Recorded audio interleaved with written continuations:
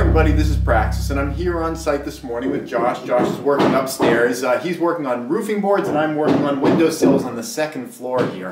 And what I wanted to talk about today is this chop saw. Now, I've never been a huge advocate of like, you know, use the right tool for the right job. I think it can be fun and exciting to use like a weird tool or something that you kind of make yourself to get something done. In fact, when I was a cinematographer, people oftentimes referred to me as MacGyver, and they didn't mean that in the anti-gun kind of way. They meant that in the way that I would take junk on set and you know make it work and do beautiful things with it. So I think that can be fun and exciting. Incidentally, MacGyver, you know, he's he's known as yeah. I'm talking about like the old MacGyver, not the new series. The new series doesn't count. The old MacGyver was known as like wouldn't use firearms or uh, and all that kind of stuff. But if you actually watch the series, watch the first episode, MacGyver had no problems using firearms. In fact, he used quite a few rifles and created an automatic kill zone that really could have killed anyone. I mean, a kid could have walked through there, and you know, that's not MacGyver's problem. So anyway, when people called me that, I took it as a compliment. Not that people were saying I was like a baby killer or anything, uh, but you know, sometimes I like to use the right tool for the right job, and this is an awesome tool for this kind of a job. What's great about a chop saw is that it makes perfectly angled cuts. Now I'm doing 90 degree cuts. You can do you know different types of angled cuts on it, but it just does perfectly angled cuts, and it's great at doing the same thing over and over and over, which is what I need to do for these windowsills.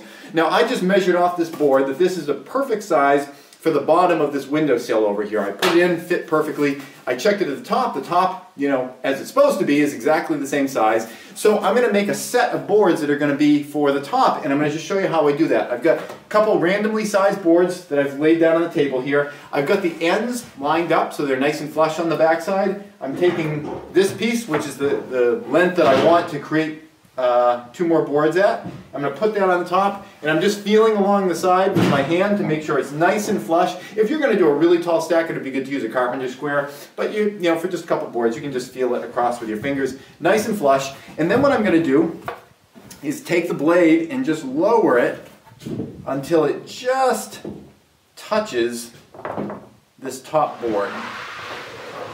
Get it all lined up, and I don't want to push against the blade. I want it to just touch it. Okay, cool. So that's all nice and lined up with this top board, and now I'm just gonna cut through. There we go. And now what I've created, if I can lift it, did I not go all the way through? What did I do? That was a really bad demonstration of how wonderful this tool is. Okay, I didn't go all the way down. What I've created are three boards, exactly the same size, with perfect 90 degree cuts.